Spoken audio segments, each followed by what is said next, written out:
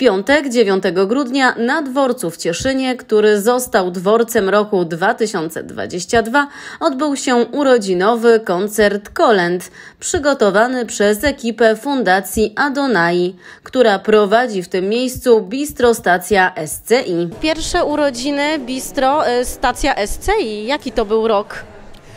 No nie ukrywam, że był to bardzo trudny rok dla nas. Mam nadzieję, że następny będzie znacznie lepszy. Dlaczego trudny? Co było takim największym wyzwaniem?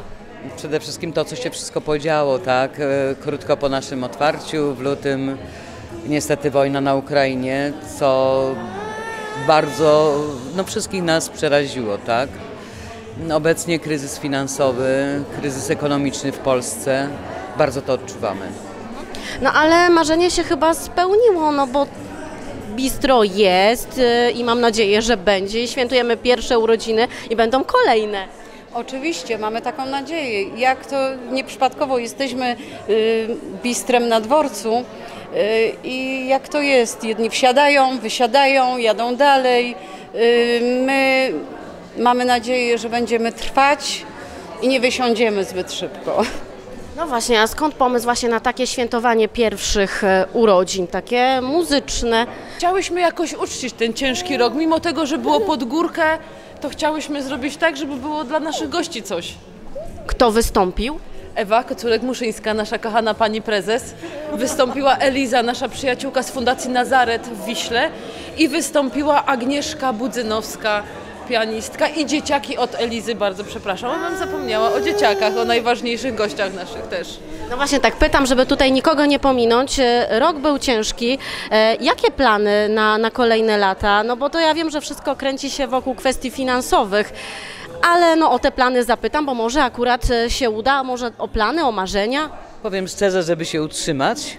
I tutaj, jeżeli mogę wykorzystać ten, tą chwilę, ja wszystkich Państwa bardzo serdecznie zapraszam właśnie do naszego bistro. Ceny są dostosowane dla każdego, e, a mianowicie mamy obiady zawieszone. Serdecznie zapraszamy tych, którzy mają bardzo mało pieniążków, zapraszamy ich do skorzystania z naszych obiadów.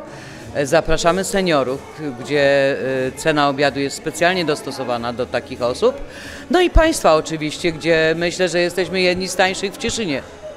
No właśnie, jak się sprawdzają te obiady zawieszone? Bo ja w zeszłym roku pytałam właśnie, jak to się pojawiło. No to już rok są te obiady zawieszone. To cały rok, czy tylko w takim tym okresie świątecznym? Przez cały rok są obiady zawieszone. Mamy stałych klientów. y, Czasami dowozimy te obiady. Staramy się, aby nikt y, od nas nie wychodził głodny.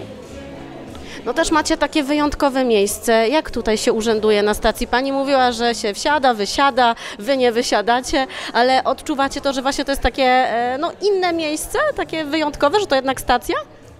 E, Miejsce jest bardzo fajne, natomiast jeszcze myślę, że mieszkańcy miasta Cieszyna nie do końca są przekonani do dworca PKP, że to e, bistro jest normalnym bistrem, takim jak każde inne, na, powiedzmy na ulicy Głębokiej czy na Wyższej Bramie, tak? Więc e, korzystajmy z niego. Nie tylko to jest dla tych, którzy przyjeżdżają czy wyjeżdżają z Cieszyna, ale dla każdego z nas, którzy mieszkamy w tym właśnie pięknym mieście Cieszynie. No czego Wam życzyć w takim razie na te kolejne lata? No przede wszystkim wielu klientów, zadowolonych klientów, y, wielu podróżnych, którzy będą z przyjemnością przychodzić, posilać się i do nas wracać. Dla portalu Śląska Cieszyńskiego OX.pl Marta Szymik.